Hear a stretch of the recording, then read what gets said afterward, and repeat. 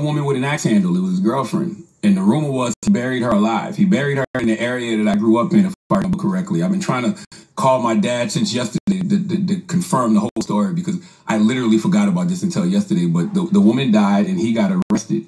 Uh, if he's still alive, he's in prison for life because he got caught because he left South Carolina after the murder and came back for his paycheck. Let me tell you something else. His other brother, I don't know if him and Kwame were close, but his other brother shot his baby mama several times and then killed himself. That was like in 08. And his other brother, Kwame's other brother, just went to jail for murder like three years ago. All of this you can Google. I'm saying all that to say, leave Kwame alone. That man has been quiet for 20 years. He don't bother nobody. Clearly, all that you know, all all that he's a bust stuff gets to him, and you don't know people are going through or have been through. But I've seen folks snap for less, and it looks like you know Kwame is snapping. And if you look at the history of men in his family, you would know his, his men in his family have a history of snapping. Leave Kwame.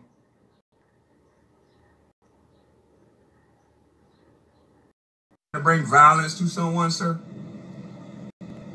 See, it's funny how you just got right on and you just created a narrative. You notice what you said, you bitch boy that bleach your skin? You know what you said? Jack and Matt Barnes are my friend. Yeah, what I told y'all.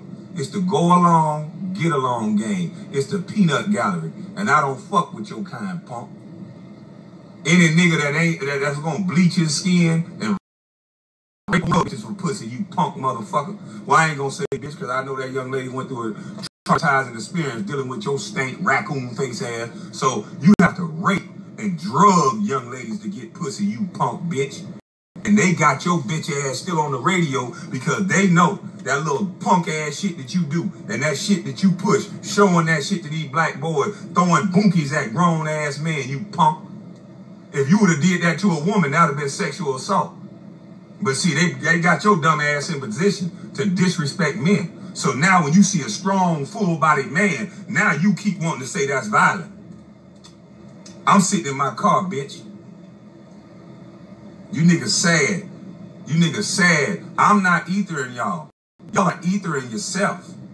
Everything, everything that I said you punk motherfucker was gonna do, you you guys are actually doing it. Stephen A actually pretended like he was a basketball guru and he destroyed a black man's name. You know why? For money.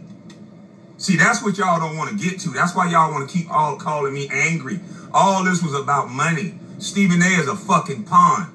There were five guys that was top five in my draft class that came out of high school, motherfucker. And colleges were losing money because there were going to be like 10, 15 that come out of high school after that. And then they started saying, oh, hell no. You ain't fucking with white daddy money. We got to get these black boys to continue going to these white schools. That's why I shout out to Master P and his sons. See, most of you motherfuckers dumb and listen to stupid ass bitches like Charlamagne Tha God and old punk ass beta male DJ Envy. Bitch, you ought to not be talking about male issues, you punk motherfucker. You don't see Bill Gates running around doing a whole goddamn cheating tour, you punk bitch. The white boy was able to cheat like a man, break off, break up like a man. Your bitch getting drugged around like a puppy on a leash, ho. You shut your bitch ass up when I'm talking. The fuck you talking about? You another light-skinned bitch. Fuck you mean? And I got a lot of light-skinned friends, but you two niggas ain't one of them. And Charlamagne, you trying to be